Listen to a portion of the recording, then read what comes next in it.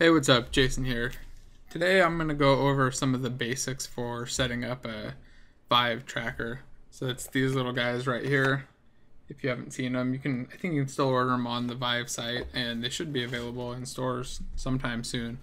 So when you pull it out of the box, it looks like this. There's also a little USB dongle that looks like this that you have to have hooked up to the computer for it to work.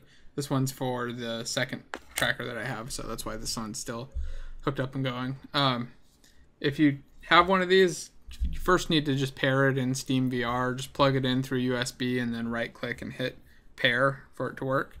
Uh, then it'll show up uh, and it'll look like that down here. So this device is tracked and my controllers are not both on. So I'll get those both turned on real quick. Um, to get started though, I've just got an empty, empty-ish project here. I added the Steam VR package and what I want to do is pull in the camera rig prefab. Plugging these things in, they're both kind of dead. So I'll take the camera rig and just drop it into my empty scene. And I've already deleted out the main camera that was in here. Make sure you do that or else you get the same old problem of rendering to the wrong camera. So with this in, you see it's got a controller manager on it that has a left and right controller uh, but it also has an objects array. So here's where we're going to put the tracker. But before I can do that, I need to go in and just create a new game object for the tracker. I'll name it tracker. And then under the tracker, I'm going to create an empty cube. Oh, oops, that's a game object. I want to create a cube. So go to 3D object cube, and I like to scale these to about 0.05. And this is just so I have a visual representation of the, the tracker in the game. So on the tracker, I need to add a component for tracked objects, just Steam VR tracked object. And you see here it's got an index that defaults to HMD. You don't have to worry about that. It just gets set at runtime. So you can leave it as HMD, change it to none. It won't, won't make any difference.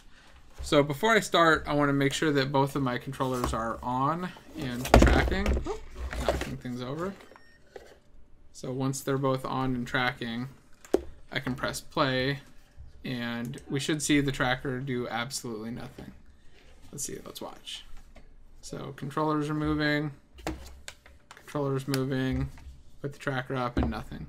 And that's because we haven't added it to that array yet. So if I go to the camera rig and just drag the tracker over to this object array, now when I press play, my tracker should start spinning. There we go. I can adjust it and turn it and you can see it's close enough to the right size. Looks like it's there, and I can even set it if I could get some decent tracking in here. A little bit hard to track it with another object blocking the controller. You can see it's kind of tracked to about the same position as the controller there. Pick it up, spin it, whatever. So that's pretty cool and all, but you know, having it just as an object like this is not the most exciting thing. So one project I did a while ago was to just hook it up to a tennis racket. So I just have a standard old tennis racket like this. And the way I did it was with these little Velcro zip ties. So these are just like little cable ties that you use to hook up cables in your computer or organize. Like the cables that are organized on my desk are organized with these. Of course, there are a lot that aren't organized. Um, and what I'm going to do is just take the tracker like this, and I want to figure out kind of where the middle of this racket is, kind of like that. And I'm just going to strap it down. So to do that, I'll just take these straps, kind of pull them apart. They're a little bit of a mess, you can see, just like that. And what I'm going to do is just run it right through here.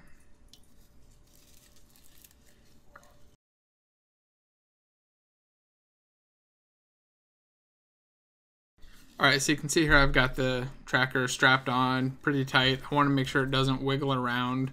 You know, if it's loose, then the object's going to bounce around in the game.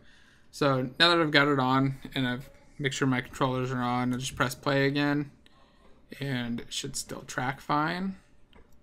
So now I've got the cube there and you can see it's, as I line it up in front of my headset, it, it lines up right.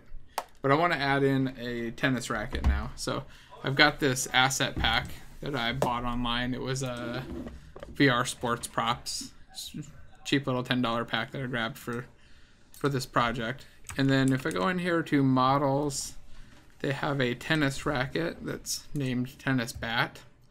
So I'm to drop that in under the tracker, and you can see, like most Unity assets, it's scaled completely wrong.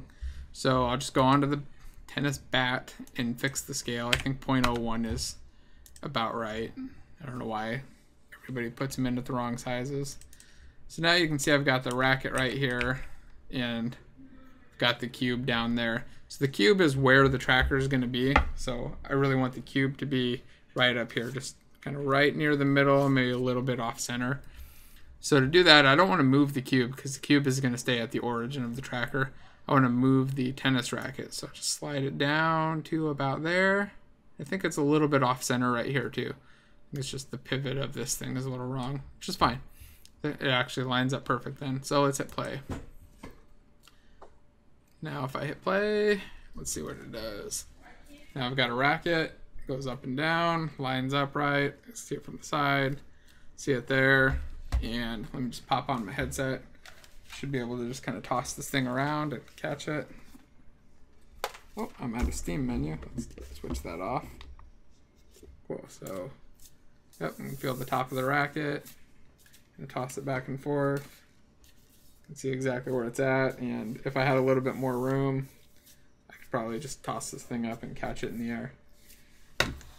So that's kind of what you need to get started. It's mainly just getting the tracker in and aligning the object, the physical object, right so that it's lined up with this thing and in the right position. Like I said, make sure that you keep the green light facing in a kind of a forward direction. I could have done this the other way and then I'd have to just flip the racket over. Should be fine too, but you want to make sure that you keep it in a steady position so that when you reattach it or detach it, it'll work again without having to go in and change things. Um, so yeah, that's kind of all there is to setting this thing up. Like I said, you have to make sure that the controllers are on or there's a little hack that you can do to this controller manager that fixes that weird bug. It's basically just that it's bailing out if both controllers aren't found. It doesn't go in and set up the objects afterwards.